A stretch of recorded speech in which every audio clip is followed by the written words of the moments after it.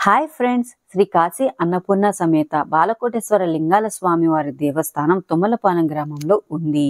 ఈ దేవస్థానంలో కార్తీక మాసంలో జరిగేటటువంటి కార్యక్రమాల గురించి నా ప్రీవియస్ వీడియోలో మీతో షేర్ చేసుకున్నాను. ఈ వీడియోలో దేవస్థానంలో జరిగినటువంటి అన్న సమారాధన కార్యక్రమాన్ని అన్న సమారాధనకి ముందు జరిగేటటువంటి పూజా కార్యక్రమాలని ఈ వీడియోలో నేను మీతో షేర్ చేసుకోపోతున్నాను ఈ దేవస్థానంలో పైన చిన్న మెడిటేషన్ హాల్ ఉందండి. ఇక్కడ మెడిటేషన్ని కూడా చేస్తూ ఉంటారు నేర్పిస్తూ ఉంటారు. ఇప్పుడు మనం మన వీడియోలోకి వెళ్ళిపోదాం. వెళ్ళే ముందు చిన్న రిక్వెస్ట్ ఫ్రెండ్స్ నా వీడియోని పూర్తిగా చూడడం లైక్ చేయడం షేర్ చేయడం మీ ఒపీనియన్ నా కామెంట్ రూపంలో తెలియచేయడం మర్చిపోకండి. ఫ్రెండ్స్ శ్రీ కాశీ అన్నపూర్ణ సమేత బాలకోటేశ్వర లింగాల స్వామి వారి దేవస్థానం తుమ్మలపాలెం గ్రామంలో పన్నెండు సంవత్సరాల క్రిందట ఆలయ ధర్మకర్తలైన చెల్లు వెంకటరాజారావు గారు నాగమల్లేశ్వరి దంపతులచే నిర్మించబడి ఇప్పటికీ వారి చేతే నిర్వహించబడుతూ ఉంది. ఈ శివాలయం మనం నేషనల్ హైవే మీద ప్రయాణం చేస్తున్నప్పుడు తుమ్మలపాలెం జంక్షన్ నుంచి మనకి ఈ దేవాలయం కనపడుతుంది. ఇప్పుడు మీకు కనపడేది తుమ్మలపాలెం స్నానాల ఘాట్. ఇక్కడ నుంచి మనం ఈ ఆలయాన్ని చూడొచ్చు. ఈ తుమ్మలపాలెం ఘాట్ దగ్గర నుంచి కృష్ణానది దగ్గర నుంచి బాలకోటేశ్వర లింగాల స్వామి వారి దేవస్థానం చాలా దగ్గర. మనం నదిలో పవిత్ర కార్తీక స్నానాన్ని మాఘమాస స్నానాన్ని ఆచరించి శివాలయాన్ని ఊర్లో ఉన్న రామాలయాన్ని కూడా మనం దర్శించుకోవచ్చు. బాలకోటేశ్వర లింగాల స్వామికి స్వయంగా మనమే మన స్వహస్తాలతో ఇక్కడ అభిషేకాన్ని చేసుకోవచ్చు. బాలకోటేశ్వర లింగాల స్వామితో పాటుగా అన్నపూర్ణ అమ్మవారిని విఘ్నేశ్వరుణ్ణి నందీశ్వరుణ్ణి ఆంజనేయ స్వామిని కాలభైరవుణ్ణి దుర్గా అమ్మవారిని కూడా మనం ఇక్కడ దర్శనం చేసుకోవచ్చు. కాలభైరవ స్వామికి అష్టమి తిథి రోజున విశేష పూజల్ని నిర్వహిస్తారు. ఆ పూజల్లో మనం పాల్గొనవచ్చు.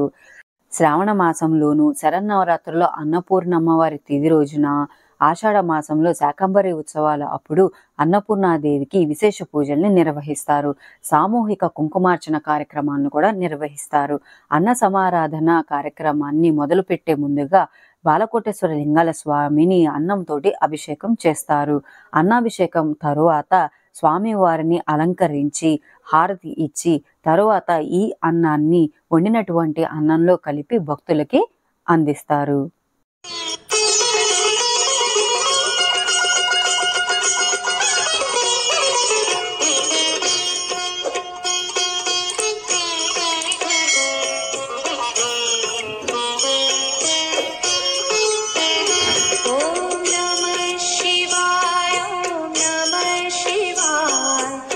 हर हर भोले नमः शिवाय ॐ नमः शिवाय ॐ नमः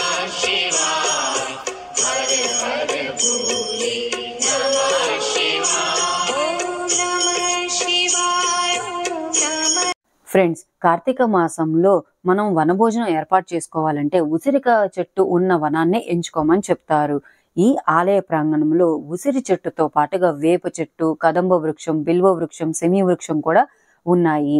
ఇలాంటి మంచి వృక్షాల నడుమ రథాన్ని ఉంచి రథంలో ఉత్సవమూర్తులను ఉంచి పువ్వులతోటి ముగ్గులతోటి సుందరంగా అలంకరించి అన్న సమారాధనకి ఏర్పాట్లు చేశారు.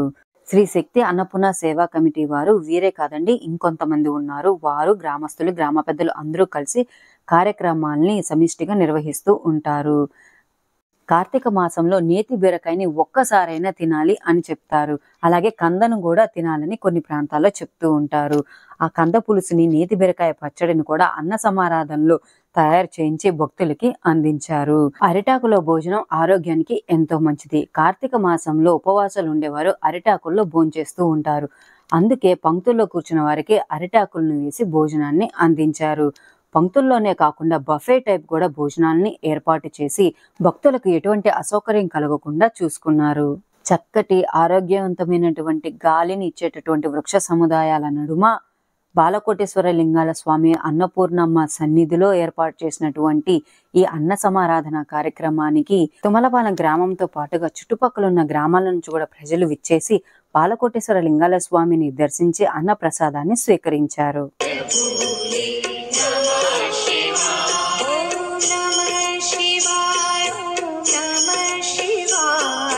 हर हर भोले नमः शिवाय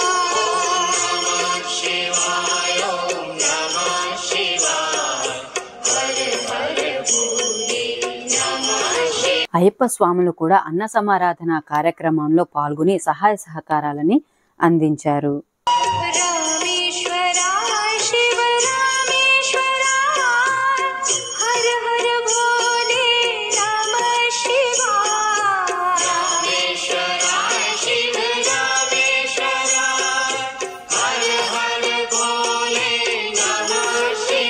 ఇది ఫ్రెండ్స్ అన్న సమారాధన కార్యక్రమ విశేషాలు. మీ అందరికీ వీడియో నచ్చిందని అనుకుంటున్నాను. వీడియో నచ్చితే లైక్ చేయండి షేర్ చేయండి. మీ ఒపీనియన్ నాకు కామెంట్ రూపంలో తెలియచేయండి. Thank you for watching.